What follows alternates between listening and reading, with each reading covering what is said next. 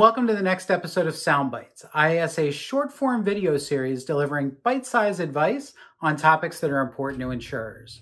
I'm Darin Reffitt, the volunteer chair of IASA's e learning committee and the director of product marketing excellence with Guidewire Software.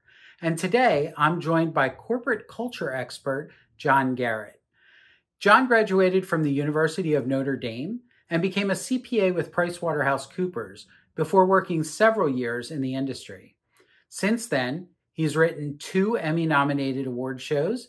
He has a comedy album on Sirius XM, and he's been on stage over 2,000 times, opening for the likes of comedian Louie Anderson and the band Train. His research and his speaking caused Accounting Today to name him one of the top 100 most influential people in the profession. And his new book, What's Your And, is getting rave reviews. John, thanks so much for joining us. Yeah, hey Darin, I'm excited to be a part of the IASA Xchange in, in January. So thanks so much for having me on. So, John, a lot of companies are struggling right now to adjust to the impact of the pandemic, while others seem to be reacting and pivoting as needed to the new normal. What do you think has been the biggest culture takeaway from 2020? Yeah, man, it's 2020 was a year, that's for sure. It was a year. And I, I think the thing that it really showed is that, uh, you know, we're all human we're all human and, and also we've all been in each other's homes now.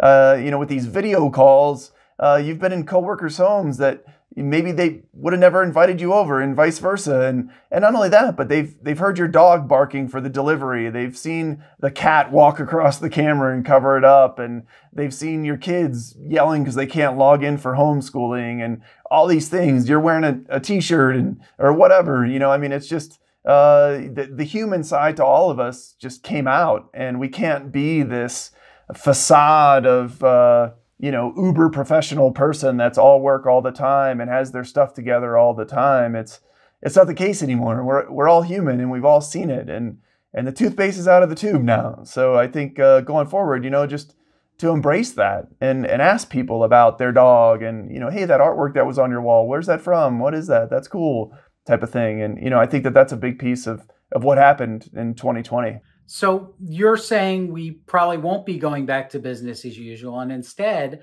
successful companies will need to embrace and foster these more personal relationships as we move forward. Yeah, definitely. I mean, you know, one thing that uh, I'll talk about, you know, at the Xchange, but uh, that people can start to think about though is what I call culture core. And so, uh, culture core is what I think is uh, is how your your the organization's culture should be built. So if you ask people, and the people watching here, if I were to ask you, uh, hey, you know, what makes your company different, or what makes your department unique, and it's the people. That's what I always hear: the people. It's the people.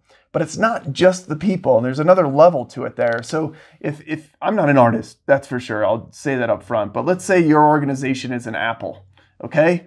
And uh, that's your organization uh, here.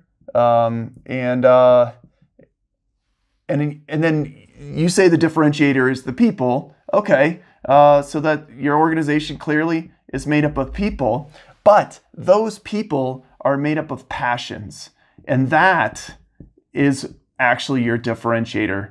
Is your the passions and the personality of the people in your department of your company. That is your culture core.